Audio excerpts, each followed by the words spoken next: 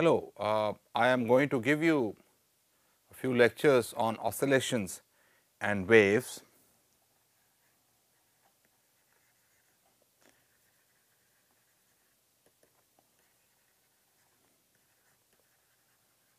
And what this kind of motion, oscillatory motion,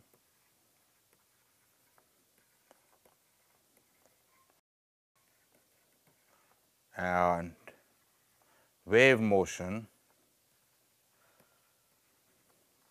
What kind of motion is this? We are going to look into that and how we describe it mathematically and where does it occur. So, oscillatory motion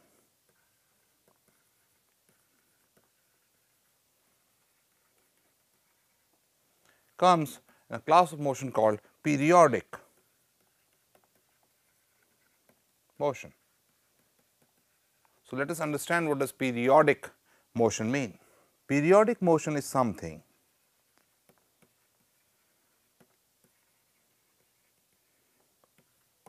is a motion that repeats itself. So, let us understand what does that mean. If a particle is going around in a circle. So, let us say it started from here, it goes around in a circle and then keeps repeating it and every time it goes around it does the same motion, then the motion is periodic. Let us see if I want to calculate the x component or the y component of this motion, what does it look like? So, if the particle is going around in a circle and let us say it covers a distance theta t in time t, right, starting from here on the x axis, then x t would be a projection of this on the x axis, this will be x t and this would be if the radius of the circle is r, r cosine of theta t. And similarly, the y component of this motion y t y of t is going to be r sine of theta t. And suppose this completes an entire circle in time capital T, all right. So, it comes back in time capital T. Then you can see x starts from some distance r initial distance if it starts from this point is r, then it changes in a certain manner. And when it reaches here at the upper point which I am doing number 2, this was number 1, started from number 1, reaches number 2, then x starts becoming negative, becomes minus r at number 3, goes up, becomes 0 again at number 4, number 3, number 4 and could do something like this back to number 1. And if this motion repeats itself over time that means theta t is going to be exactly the same after it has completed one cycle then the motion is going to be periodic. So, if I were to plot it carefully let me show it here. Here is x and y axis this is the particle going around the radius is r, I am plotting x t. I plotted it in a certain way, but it could be any general function. However, it repeats itself exactly in the same manner, then it is a periodic motion with time period being from here to the point it reaches point 1 again. So, let me show this, this was point 1, this was point 2, this was point 3 maximum, this is point 0.4 and this is 0.5 which is again 0.1 and the motion repeats itself. If theta is in general changing very arbitrarily then the motion would not be periodic. However, if it repeats itself after a certain time it is periodic. It could so happen that the particle goes around and after it completes two circles once and twice then the motion repeats itself then the periodicity or the time period would be twice as large. But the main point is that if the motion repeats itself, if a motion repeats itself after time t, it has to be exactly the same, then the motion is periodic with time period t. Other examples of this would be examples of periodic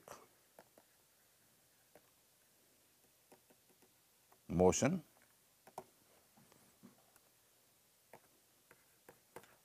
Earth's rotation. On its axis, right, and this motion repeats after t roughly equals 24 hours. Other example would be moon going around the earth. And this motion repeats itself after roughly 29 days. So, this is a periodic motion with time 20 time period 29 days or the earth.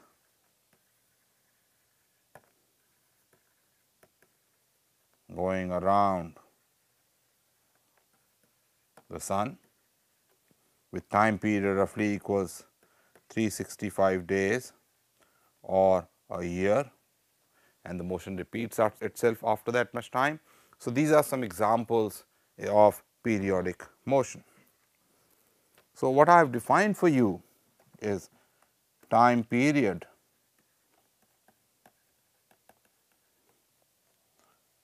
which is t whatever units we use a related quantity is going to be frequency And what frequency means is in per unit time how many times the motion repeats itself. So, frequency usually is denoted by f and this is 1 over t. In time t the motion repeats itself.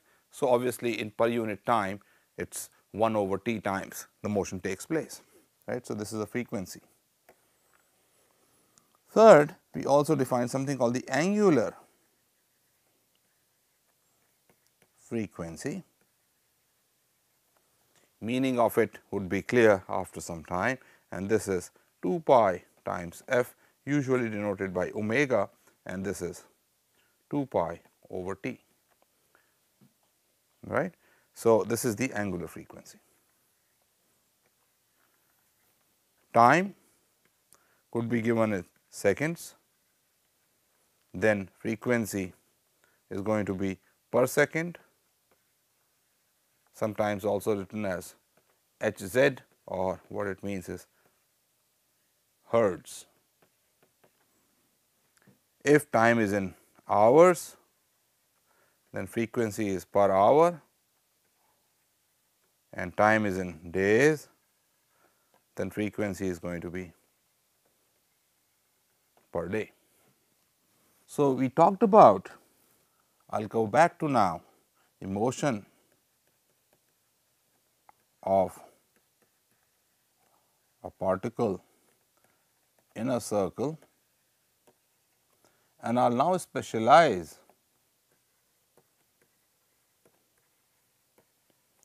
to motion where the speed of the particle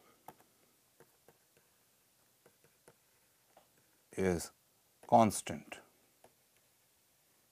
sometimes also called uniform. What it means is that when this particle is going around in a circle, its speed here is v is the same all the time and therefore, if the circle radius is r,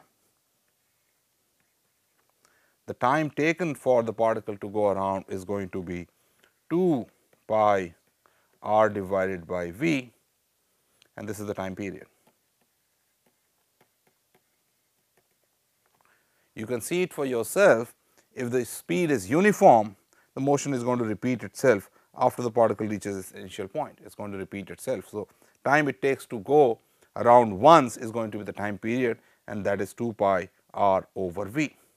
The frequency f of motion is going to be 1 over t which is v over 2 pi r, v over r I am going to call omega which is angular frequency divided by 2 pi.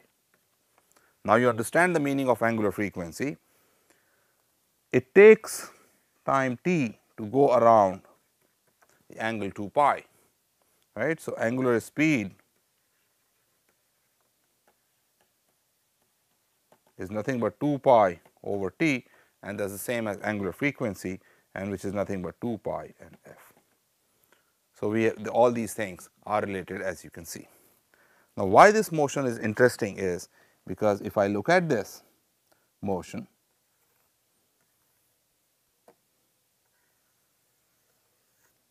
a particle going around in a circle of radius r with uniform speed v, then the angle it covers in time t the angle is going to be measured in radians as you can see earlier I said is 2 pi when it goes around once in full circle. This theta, theta is going to be equal to this distance here is going to be v times t, this radius is r. So, theta is going to be v times t the arc length divided by r. We can you can see this omega times t which is a well known relationship and therefore, x t the x component here is going to be equal to r cosine of omega t, y t is going to be r sine of omega t. So, in this case if I plot the motion, so let me show this to you again. I am considering the case where the particle is going around in a circle right of radius r, this speed is v and this angle theta is omega t, where omega is v over r, x as a function of time is r cosine of omega t. And if I were to plot x t versus t at t equal to 0 the displacement is r. It comes down as a cosine curve, goes to 0 that is let me show this again by positions. Position 1, position 2 is going to be here, position 1 is here and then x becomes negative and at position 3 is maximum negative. So, it goes like this, this is position 3 and after this the x starts reducing again becomes less negative. It comes here at position 4 becomes 0 again and then goes up and back to 5 or 1. So, this entire time that it takes to come back is time period t and this is a cosine curve. So, it is x t equals r cosine of omega t. Similarly, if I were to plot y t, right, if I were to plot y t, this is going to be r sine of omega t. And if I were to plot it at this point position 1 y 0 this is position 1 and then it goes up reaches the maximum y equal to r at position 2 comes down and then goes up again negative and then goes up again. This is position 3, position 4, position 5 and then it repeats. So, this is also periodic with the same time period this point is supposed to be right here. This is this is position 5 this is supposed to be same same point t. Okay. So, it repeats itself. Now, this is a very specific kind of motion. So, what is happening here is if a particle is going around in a circle with uniform speed, then x t is equal to r cosine of omega t, y t is equal to r sine of omega t, moves around with exactly one frequency, right. This is called simple.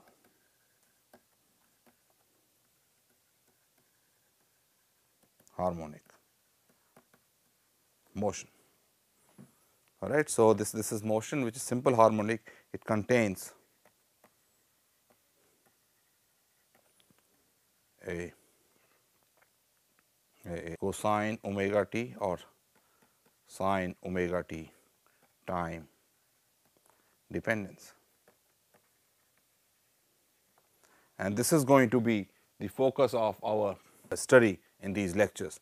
But before that I just want to give you some more periodic motions and how to represent them on the displacement versus time graph motion and their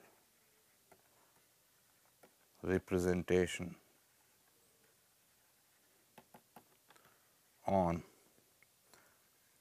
displacement versus time graph. Okay, so let's see look at that.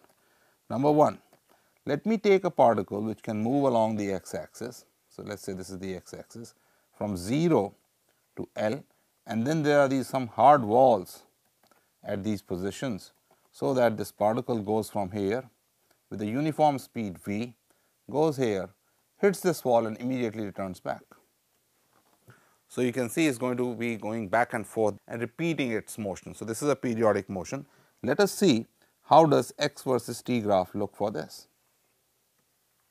So, if I were to plot x t versus t and let us say t equal to 0 it was at this point on the left hand x equal to 0, then x increases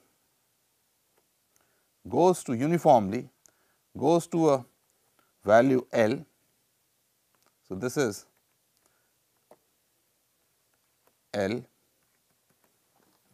and as soon as it reaches here it starts coming back. When it starts coming back with the same speed without losing energy it goes down x decreases goes to 0 right and then the motion again repeats itself. you see again that motion is repeating itself. It is exactly the same triangle that keeps coming back again and this time from here to here is going to be the time period. What is t equal to? The total distance travelled is 2 L divided by V that is going to be the time period. Let us take the second example. A ball is released from height h comes down and without losing energy it bounces back. So, it goes up to height h again and then it comes down and goes up and this motion keeps on repeating. This is also a periodic motion because exactly the same motion is taking place after certain time. and if I were to plot the height of the ball y t versus the time t, it starts at a height h, comes down and you know from your equations that the height is going to be like this because I am going to have y t equals h minus 1 half g t square. So, it looks like this. Now, it hits y equal to 0 and starts moving up is exactly the same speed goes up goes to height h and then again starts coming down.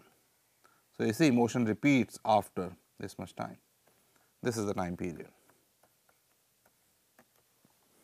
How long did the ball take to come down? Well, we know that y equal to 0 implies t equals 2 h over g square root, but that is not the time period because that is the time it took to reach this point here where I am making a big blob. So, total time period t is going to be twice as much which is 2 square root of 2 h over g that is the time period. Whenever the motion is periodic all the related quantities are also periodic. So, what we have done in the examples I have shown you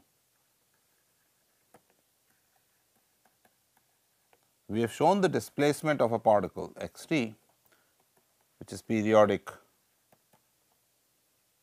that means this is changing. I am also giving you all sorts of words changing periodically with time period t. So, in the first example, let me just go back again. We took a particle which was going back and forth between two rigid walls and x t plotted against time looked like x was increasing went all the way up to L came back x was increasing came back. I want to show you now how other quantities are going to look like. So, suppose I were to plot as velocity versus time right. Well, I am saying at velocity because I am going to take negative and positive both. Now, as the particle moved up to this point capital T by 2, it was moving with positive velocity and the velocity was certain value v. As soon as it reached this point the other wall, it got hit and started moving the other way. So, velocity became negative and then it came here. This was the velocity from this point onwards up to this point. And then the velocity became positive again up to this point.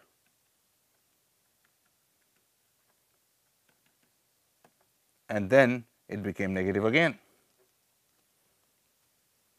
Sorry, it is red color up to this point. So, velocity of this particle going back and forth between two walls is like this. This I am showing with a dotted line, it is not well defined. Then again like this here, then the dotted line, then like this, dotted line, like this. And you can see that after time period t, the velocity is repeating itself. So, velocity is also a periodic function of time. So, if x t is periodic, so is the velocity and this is given as dx by dt, slope of x with respect to time that is also periodic.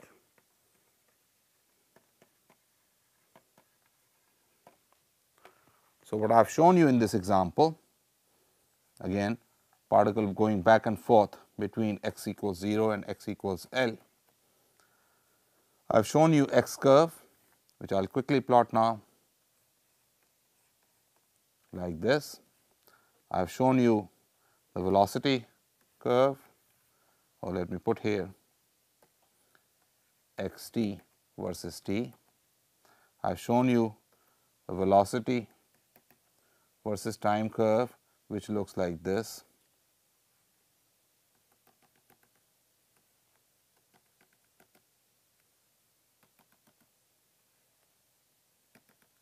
And so What about the acceleration? Let us plot the acceleration also. You see, when the particle was moving with uniform speed, the acceleration is 0 and then suddenly it has a huge negative acceleration, so that the velocity becomes negative, it is 0 again. Then a positive acceleration and 0 again, negative acceleration 0 again and so on, positive acceleration 0 again, negative acceleration and 0 again. What you can see is this acceleration is also repeating itself.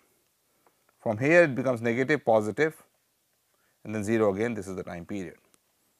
In real life, when this ball hits, it is going to be squeezed a bit, for a short time there is going to be some force which we are showing that short time to be roughly 0, but in real life is going to be slightly different. The actual curve may look something like this 0, then it hits the wall,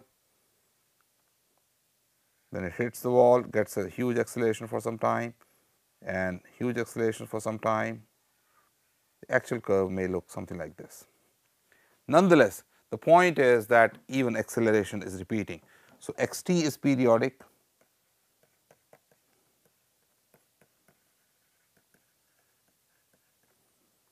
velocity v t is periodic with the same period and so is the acceleration.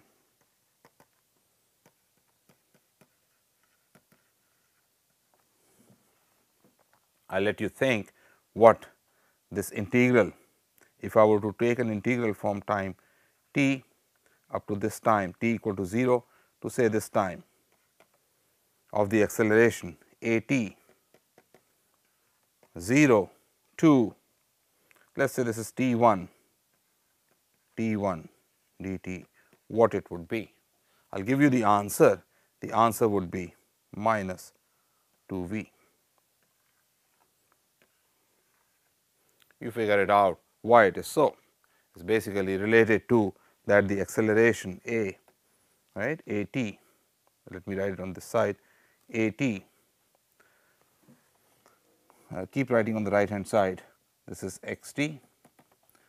The next point is v t is nothing but dx by dt and the acceleration a t is dv by dt which is d 2 x by dt square and this is what this is what leads to this integral.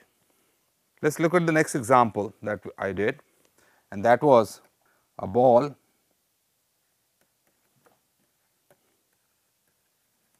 dropped from height h and bouncing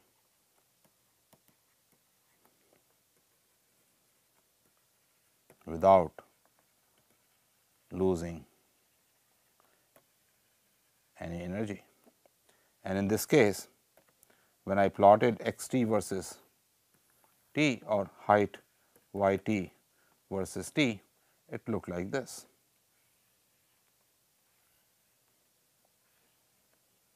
where this up to this point is the time period. Let us now plot as velocity also v t versus t and you know from your daily or earlier exercises in this case it started with 0 velocity and out here by the time it reaches this point let me show it by black the velocity is negative. So, its velocity goes like this and keeps on increasing up to this point.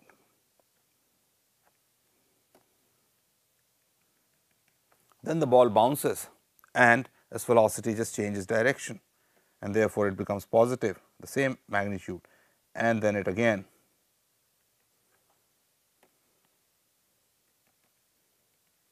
it starts slowing as it moves up, velocity decreases, reaches 0 when the ball reaches the highest point because it stops momentarily and then it comes down again.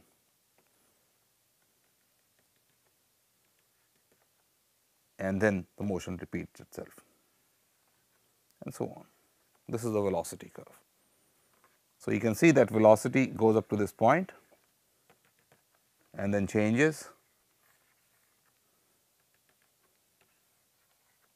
it is like this. And the time period, time over which it repeats itself is from here to here. What about the acceleration? Again,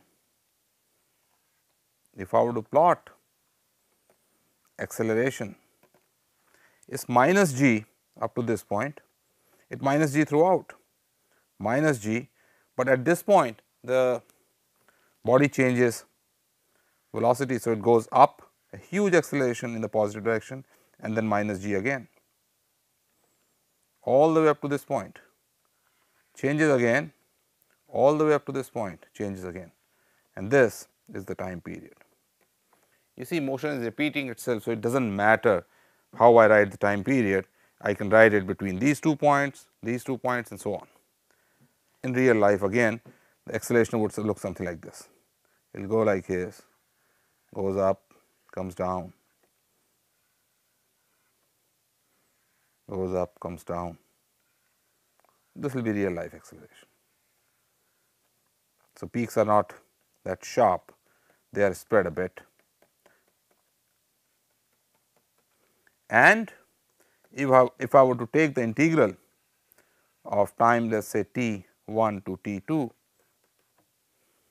just like earlier integral t 1 to t 2 a t dt would be equal to 2 v 0 where v 0 is the velocity when it hits the ground which is going to be 2 square root of 2 g h.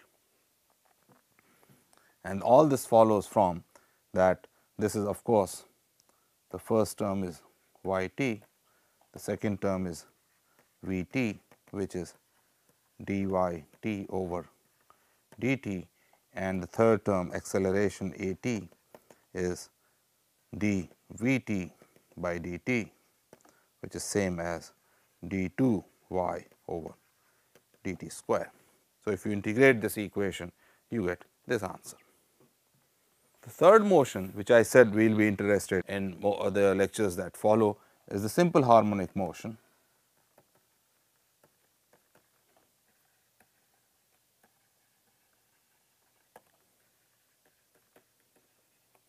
which we said is nothing but if I take a particle going around in a circle of radius r, then x t which is equal to r cosine of omega t, right. This x t is called simple harmonic motion because it contains the term cosine omega t or Equivalently, I could also call its component y t which is r sine of omega t which is also called the simple harmonic motion. If I were to plot x t versus t, it looks like a cosine curve with this maximum displacement being r or minus r the corresponding velocity v t versus t is initially slope is almost 0. So, it is going to be 0. However, as time increases as the particle goes around like this is going into the negative x direction. So, velocity increases and it reaches a maximum here. You can see at this two, is its maximum. Then it starts decreasing and becomes 0 again at this point. So, the velocity looks like this and then it reaches a maximum positive here. So, let me show the corresponding point. This is point one, point two, point three, point four. This is point one, point two. 0.3, 0.4 and then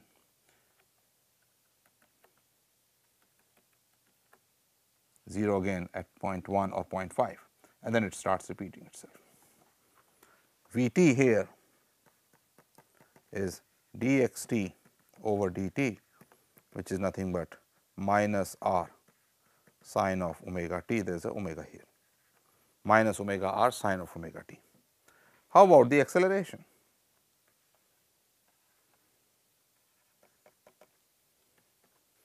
Acceleration at point 1 is you can see the change is very large. So, it is going to be negative and then it becomes 0 at point 2. So, 1, 2 becomes positive large at this point, largest at this point and then goes down like this okay, and this becomes the time period. This is the time period. Acceleration a t is given as d v over d t which comes out to be minus omega square r cosine of omega t which is nothing but minus omega square x t. Okay. So, acceleration goes up comes down. So, it is exactly negative of this it is negative multiplied by omega square r of course, because this largest value is going to be omega square r. So, it is multiplied by sorry omega square times x t and change of sign that is the acceleration. So, let us see what it means. In simple harmonic motion,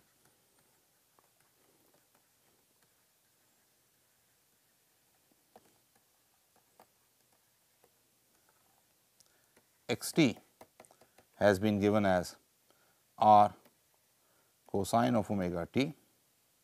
The corresponding speed or velocity is nothing but dx dt which is minus omega r sine of omega t and the acceleration a t which is nothing but dv over dt which is same thing as d 2 x over dt square is nothing but minus omega square x. I could also have written this whole thing as the motion along the y axis. So, I could have written y t is equal to r sine of omega t. Corresponding velocity v t is dy over dt which would be omega r cosine of omega t. Interesting thing is that the acceleration which is dv over dt which is nothing but d 2 y over dt square is still comes out to be minus omega square y. That is it is again minus omega square times the displacement or in general I can write a motion x t given as a constant a cosine of omega t plus some other constant b sine of omega t, then the velocity t would be equal to dx over dt which is minus omega a sine of omega t plus omega times b cosine of omega t and the acceleration a t which is dv over dt which will be minus omega square a cosine of omega t minus omega square b sine of omega t which is again minus omega square x t. So, what you see is that whether I take motion to be purely cosine, purely sine or a combination of this, the acceleration comes out to be minus omega square x t and that is a typical sign of simple harmonic motion. In other words, if I have an equation x double dot which is nothing but d 2 x by d t square if this is equal to minus some constant c times x where c is a positive number, then I am inverting the whole argument now I came from x, derived the acceleration, now I am going to go backwards. Then x dot t is going to be of the form that was given and x t is going to be if I integrate this of the form a cosine of root c t plus b sine of root c t. I can write x dot t as some coefficient a 1 cosine of root c t plus b 1 sine of root c t. So, earlier I showed you that if a particle is moving around in a circle, right, uniformly that means its angular speed or v is constant, then the motion comes out to be its x or y component motion, x component of the motion and y component of the motion comes out to be a combination of either pure cosine omega t or sine omega t or in general when I combine the two it is a combination of the two. The important thing is in this motion is that the acceleration comes out to be exactly minus omega square times the displacement. Let us understand that. So, when a particle is moving around in a circle, if it is at this point here, the only acceleration it has is centripetal acceleration, which you know is v square over r or omega square r that is the magnitude. And if I take its components, its x component is going to be this in this direction. If this is omega t, this is omega t, you can see this is nothing but minus omega square r cosine of omega t, which is nothing but minus omega square x. Similarly, the y component of the acceleration is going to be minus omega square r sine of omega t, which is minus omega square y t. So, the acceleration in this case the x and y component which show the simple harmonic motion, the corresponding acceleration is nothing but minus omega square times that displacement and that is simple.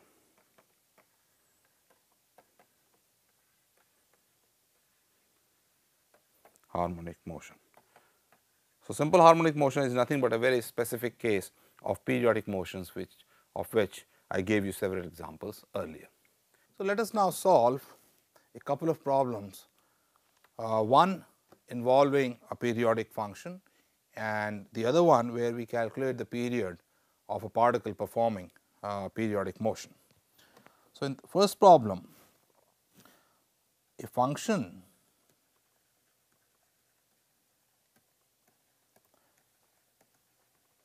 given as a function of time is equal to cosine of 2 pi t plus cosine of 3 pi t.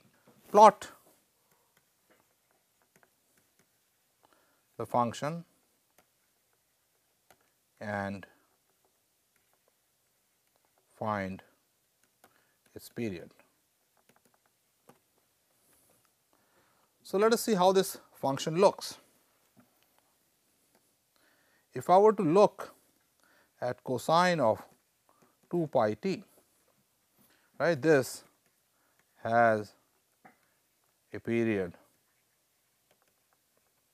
of t equals 1. How do I know that? Because cosine of 2 pi t at t equal to 0 is 1 and next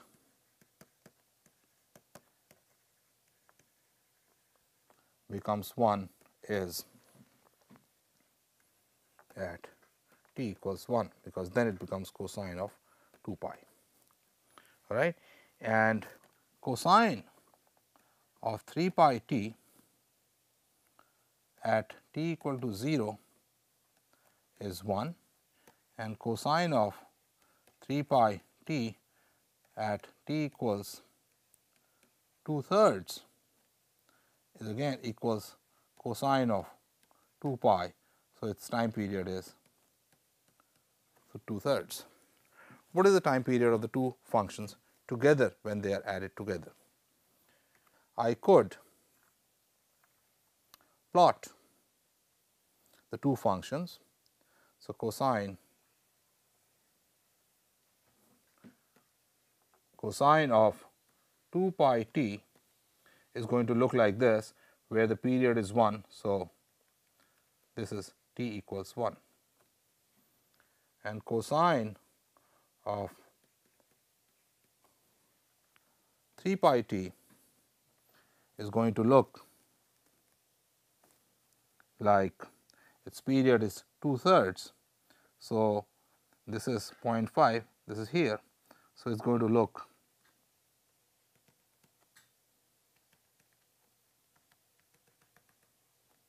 like this and the net result is the sum of 2. It is not very obvious what the period is going to look like, what the net function is going to look like, but if you just play around what you are going to get, it is going to look like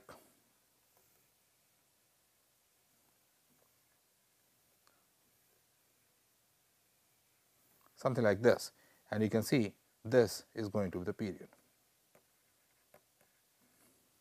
It is not very obvious what the period is going to be.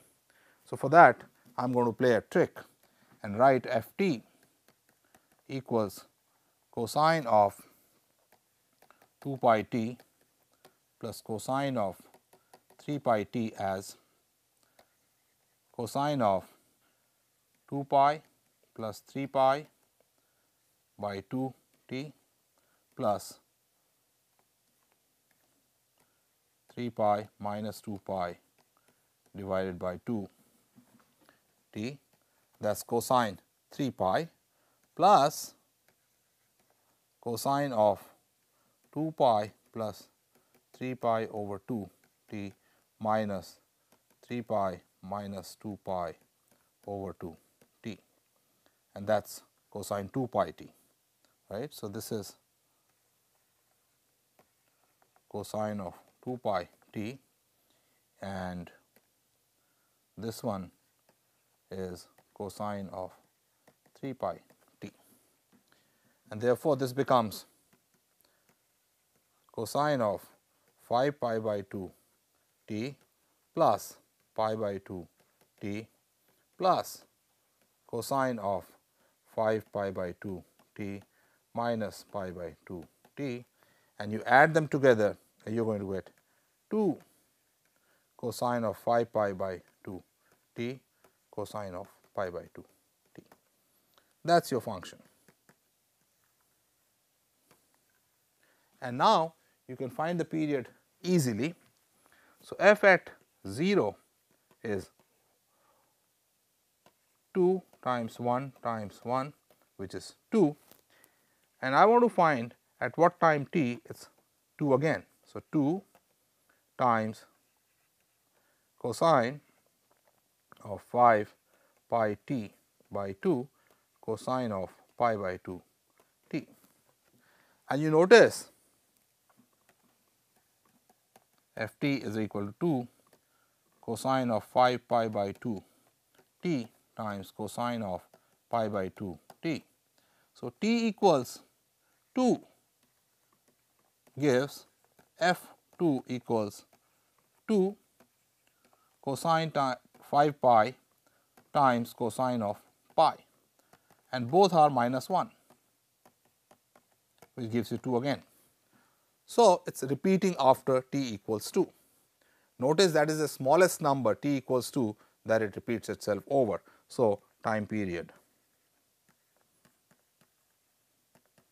of this function is 2 and that is the answer. For the second problem, I am going to take a particle moving along the x axis in a potential which is let us say 1 half m k x where m is the mass of the particle, k as a constant. And on this side it is 1 half m k x, x equals 0. So, potential it is moving in V x is equal to 1 half m k x for x greater than 0 equal to 0 and is equal to minus 1 half m k x for x less than equal to 0. In short, the potential can also be written as 1 half m k modulus of x. You can see if I take a particle and leave it from one side, it is going to come down, go up again, come down, go up again and is going to perform a periodic motion. So, a particle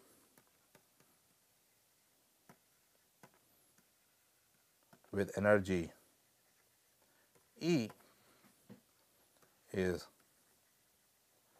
going to perform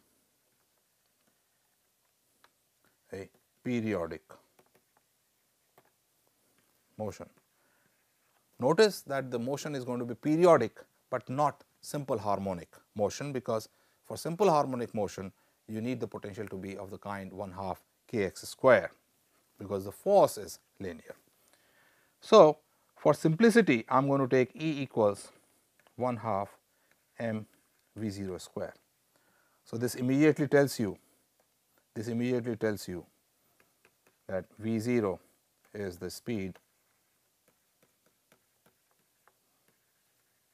when V x is equal to 0. Why? By energy conservation,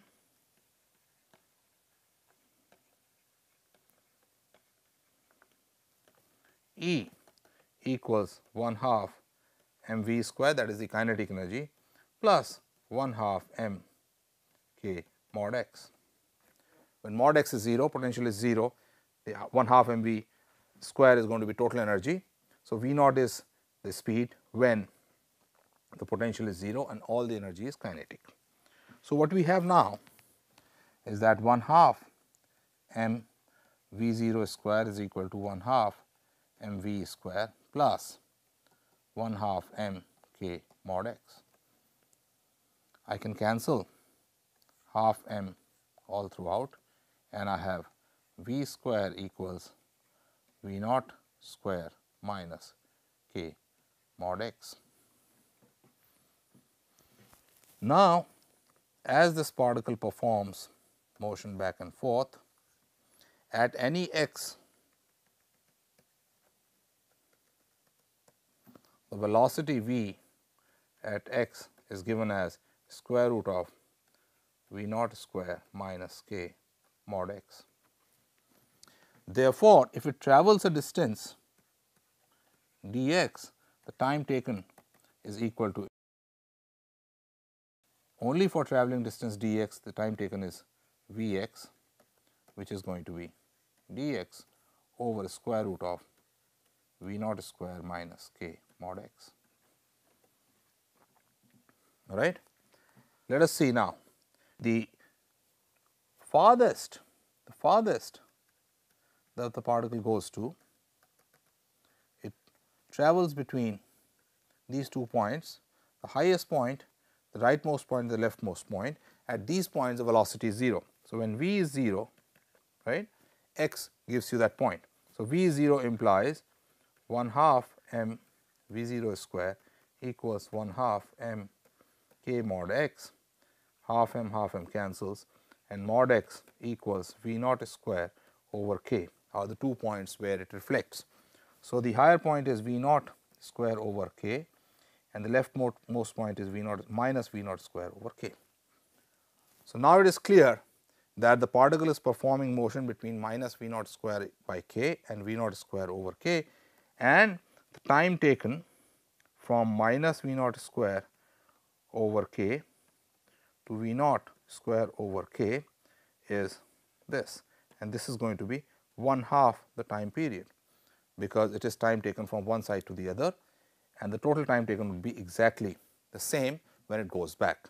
The time period divided by 2 is the time it takes from leftmost point to the rightmost point and this is going to be minus V naught square over k to 0 dx over square root of V naught square minus k mod x which for x less than 0 is plus k x plus 0 to V naught square over k dx over v naught square minus kx square root.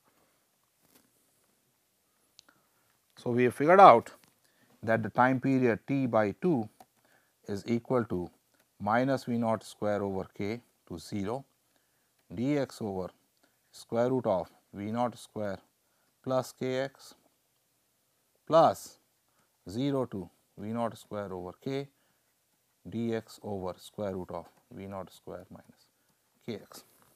You can simplify this further in this integral, the first integral, take y to be minus x or x to be minus y. So, dx is minus dy.